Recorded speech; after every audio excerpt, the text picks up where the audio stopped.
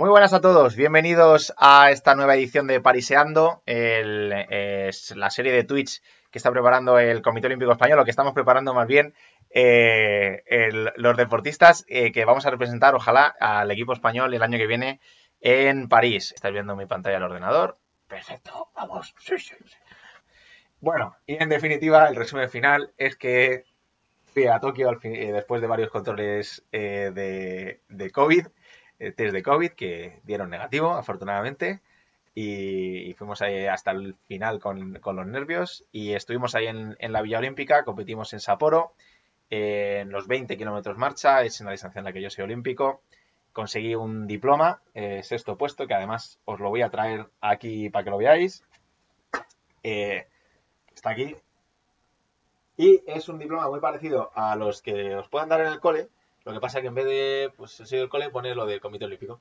Eh, es verdad que, que las medallas están mejor que los diplomas, pero le hemos puesto un marco para que quede mucho más chulo y sobre todo lo que representa, que es el, el recuerdo de haber estado ahí por lo menos una vez. Intentaremos de nuevo eh, volver a estar en cuanto se pueda en, en los Juegos Olímpicos de París. Vamos, sí, sí, sí.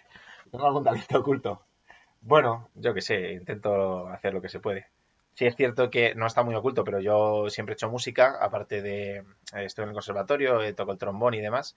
Y bueno, pues a ver, si me vas a preguntar qué, qué será mejor que el atletismo o el trombón, evidentemente el atletismo, porque el trombón pues hago lo que puedo. Pero sí es cierto que, bueno, he tenido poco tiempo en, en mi vida para dedicarle al ensayo y, estoy bastante contento con, con los frutos que, que ha dado. O sea, he sido la verdad que bastante productivo con el poco tiempo de ensayo que he tenido tocando el trombón.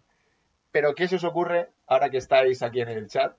Eh, ¿Qué se os ocurre que realmente da retweets, da visualizaciones eh, y hace que se multipliquen estos 67.000 por lo que haga falta? Porque, porque vais a acertar. Eh, bueno, en primer lugar, hay una cosa que funciona mucho, visto lo visto, y es el rajar. O sea, cuando te pones a quejarte por algo, a la gente le mola aquí la caña y tal. Y, y me he encontrado aquí un tweet del año 2018 que, fíjate que yo lo hemos dicho al principio, soy del Madrid, y es que soy del Madrid, pero me salió un tweet de hater del Madrid. ¿Por qué? Porque quedamos medalla en el Campeonato de Europa de Berlín. Eh, yo saqué la plata, pero es que encima eh, otro español sacó el oro y otra española sacó el oro en chicas y competimos a la vez. O sea, fue como doblete y doblete, doble. O sea, la leche, la, actuación más increíble del equipo español de marcha prácticamente de la historia. Y la prensa deportiva pues decidió destacar, claro, yo aquí decía un trofeo Nisu de fútbol. Vale, que igual no es lo más respetuoso que hay del mundo, pero, pero lo que quería decir, pues un trofeo que no es realmente importante para un club tan grande como el Real Madrid, y es la realidad, es un trofeo de pretemporada.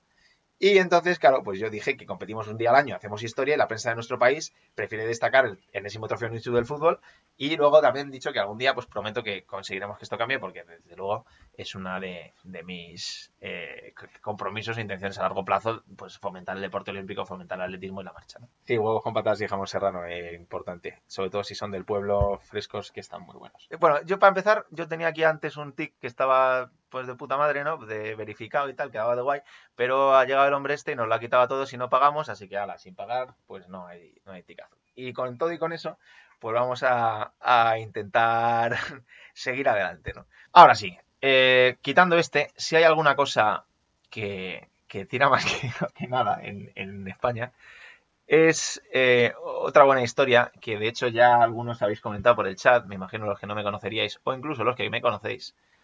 Pero claro, todo el mundo me decía que yo me parezco mucho a un actor, ¿no? De, de cine para adultos. Vamos, sí, sí, sí. Entonces, claro, yo lo vi al tío y digo, ostras, pues sí que me parezco. Y me lo decían muchísimo. Y fue venir del europeo de Berlín, este que estábamos viendo aquí antes, y me pararon de repente en una gasolinera, viniendo, a la playa, y me dijo el tío, oye, yo a ti te conozco. Y dije, sí, claro, es que yo ahora soy medallista en, campeonatos de atletismo y tal. Y me mira así y me dice, no, eso no es. es. De eso no vamos, pero ni de coña te conozco de eso, yo no sé ni quién eres. Y yo dije, pues ¿qué será? Y me dijo, tú, tú, no, tú no serás Jordi, tal. Y, ostras, pues, pues no soy, ¿no? Bueno, ese día no, no le... ¿Quién es Jordi? Pues este tío, el, el Jordi ¿no? El actor eh, de cine de porno. Y entonces, claro, yo dije, ostras, este tío me ha dicho eso, será porque me parece que es verdad. Esa semana me lo dijeron otra vez, me lo dijeron otra vez, me empezaron a mandar la gente, ostras, ¿cómo te parece este tío? y tal, que en aquel momento estaba empezando. Y, yo dije, pues esto o lo digo yo, o se van a estar riendo de mí toda la vida. O sea, no puede ser. Entonces, para poner la coña, pues dije, ah, pues voy a poner este tweet, que además era un cortapega de una coña que me había mandado un amigo. Y me da a mí por ponerlo, se paras al nacer, pues sí, un poco. Y me da a mí por ponerlo y me encuentro con que, pues eso, 3.000 retweets, 8.000 me gustas y tal, y un millón de impresiones. Ala, pues ya tenéis ahí el bronce de mis tweets.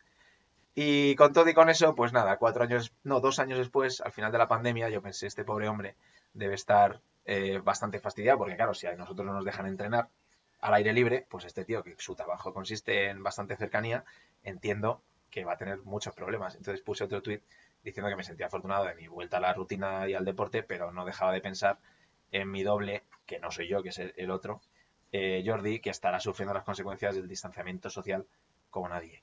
Entonces, pues ánimo, hermano. Y también, pues nada, dos millones. Ya sabes. Un abrazo, chicos, de verdad, muchas gracias.